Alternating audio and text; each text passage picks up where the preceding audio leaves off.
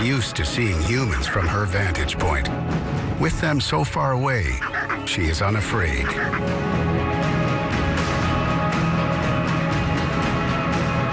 Here, she is queen of the hill.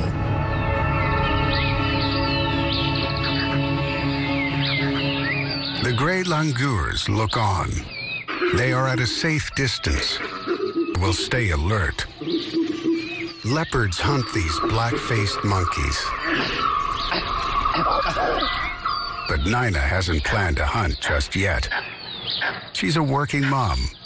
She scheduled quality time with the kids. Like all baby leopards, Nina's first cub loves playtime. Leopards usually produce litters of two to three cubs. Nina will be fiercely protective. Any males other than their father will kill these cubs on sight. It will give the new male a chance of mating with Nina and creating his own genetic line. Baber 2 is too young to care about such dangers. It just wants to have some fun.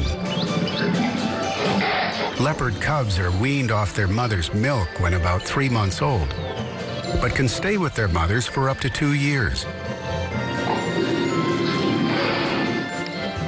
But here in Jawai, with so many cats competing for space, mature